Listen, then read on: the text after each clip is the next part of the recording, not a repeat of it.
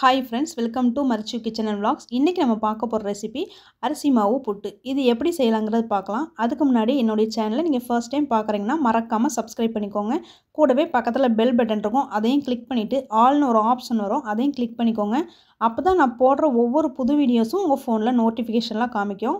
இந்த வீடியோ உங்களுக்கு பிடிச்சிருந்துச்சுன்னா லைக் பண்ணுங்கள் ஏதாவது டவுட் இருந்துச்சுன்னா கமெண்ட் செக்ஷனில் கமெண்ட் பண்ணுங்கள் ஓகே இப்போ இந்த ரெசிபி எப்படி செய்யலாங்கிறது பார்க்கலாம். நான் வந்து பச்சரிசி மாவு எடுத்து வச்சுருக்கேன். இந்த பச்சரிசி மாவு வந்து எங்கள் அம்மா ஊர்லேருந்தே ப்ரிப்பேர் பண்ணி ரெடி பண்ணி கொண்டு வந்திருக்காங்க.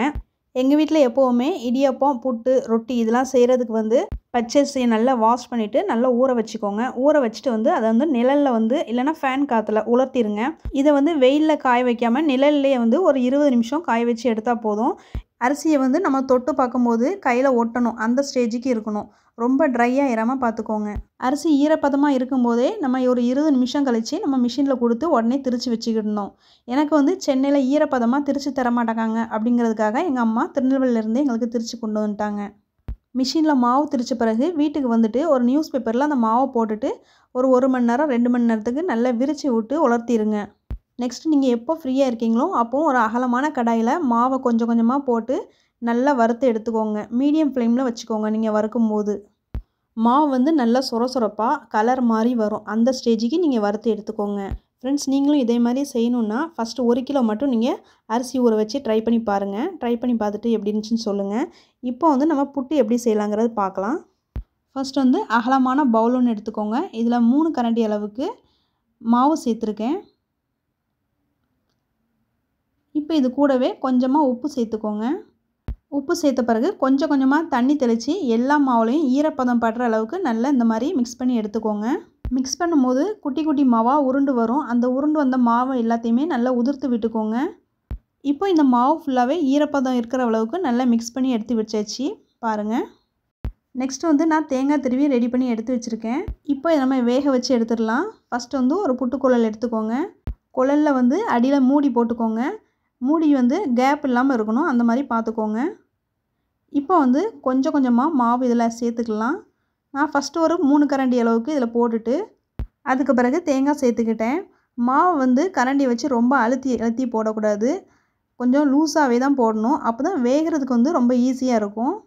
தேங்காய் போட்டதுக்கு பிறகு மீதி பாதியை ஃபில் பண்ணிடலாம். தேங்காய் வந்து நீங்கள் எவ்வளோ வேணாலும் சேர்த்துக்கலாம். இதில் மாவை ரொம்ப அழுத்தி விட்டுறாதீங்க. இப்படி இருக்கட்டும். இப்போ ஒரு மூடி போட்டுட்டு வேக விட்டுடலாம் புட்டுக்குழலில் அடியில் உள்ள பாத்திரத்தில் வந்து நான் ஏற்கனவே தண்ணி சூடு பண்ணிக்கிட்டு இருக்கேன். தண்ணி நல்லா சூடான பிறகு புட்டுக்குழலை இதோட செட் பண்ணிடலாம்.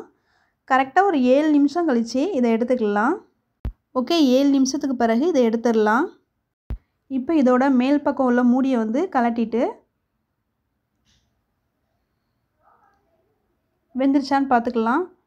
பாருங்கள் நல்லா வெந்துருச்சு நல்லா சாஃப்டாக இருக்குது நீங்கள் எப்போவுமே வறுத்துட்டு இந்த மாதிரி அவிச்சிங்க அப்படின்னா புட்டு ரொம்ப சாஃப்டாக நல்லா வாசனையாக இருக்கும். நம்ம வறுத்துட்டு வந்து புட்டு அவிச்சோம் அப்படின்னா ரொம்ப வாசனையாக இருக்கும். இதை நம்ம சாப்பிட சாப்பிட ரொம்ப இன்ட்ரெஸ்டிங்காக இருக்கும். திகட்டாது. இப்போ இதை ஒரு பவுலில் போட்டு நல்லா மிக்ஸ் பண்ணிடலாம் ஃப்ரெண்ட்ஸ் உங்கள் வீட்டில் இதை ட்ரை பண்ணி பாருங்கள் ட்ரை பண்ணி பார்த்துட்டு எப்படி இருந்துச்சுன்னு சொல்லுங்கள் இதை வந்து ஒரு பவுலில் இது சேர்த்துக்கிட்டு எக்ஸ்ட்ரா கொஞ்சம் தேங்காய் சேர்த்துக்கிட்டேன். இப்போ இது கூடவே நாட்டு சர்க்கரை சேர்த்துக்கிட்டேன். நாட்டு சர்க்கரை இல்லைன்னா வந்து சுகர் இந்த ரெண்டில் ஏதாவது ஒன்று சேர்த்துக்கோங்க. உங்களுக்கு வந்து எவ்வளோ ஸ்வீட் வேணுமோ அதுக்கேற்ற மாதிரி நீங்கள் அட்ஜஸ்ட் பண்ணிக்கோங்க. இப்போ இதை நல்லா மிக்ஸ் பண்ணியாச்சு. இதுக்கு வந்து சைடிஷாக நீங்கள் வந்து நல்ல பழுத்த நாட்டு பழம் எடுத்துக்கோங்க. நாட்டு பழத்துக்கும் இதுக்கும் வந்து ரொம்ப ரொம்ப காம்பினேஷன் நல்லாயிருக்கும் கண்டிப்பாக இது வீட்டில் ட்ரை பண்ணி பாருங்கள் ட்ரை பண்ணி பார்த்துட்டு எப்படி இருந்துச்சுன்னு சொல்லுங்கள் ஃப்ரெண்ட்ஸ் இந்த வீடியோ உங்களுக்கு பிடிச்சிருந்துச்சுன்னா லைக் பண்ணுங்கள் மறக்காமல் என்னுடைய சேனலை நீங்கள் புதுசாக பார்க்குறீங்கன்னா சப்ஸ்கிரைப் பண்ணிக்கோங்க. கூடவே பக்கத்தில் பெல் பட்டன் இருக்கும். அதையும் கிளிக் பண்ணிவிட்டு ஆல்னு ஒரு ஆப்ஷன் வரும். அதையும் கிளிக் பண்ணிக்கோங்க. அப்போ தான் நான் போடுற ஒவ்வொரு புது வீடியோஸும் உங்களுக்கு உங்கள் ஃபோனில் நோட்டிஃபிகேஷனாக வரும். நான் மறுபடியும் வேறு ஒரு ரெசிபியில் மீட் பண்ணுறேன் இது வரைக்கும் நீங்கள் வீடியோ வாட்ச் பண்ணதுக்கு தேங்க்யூ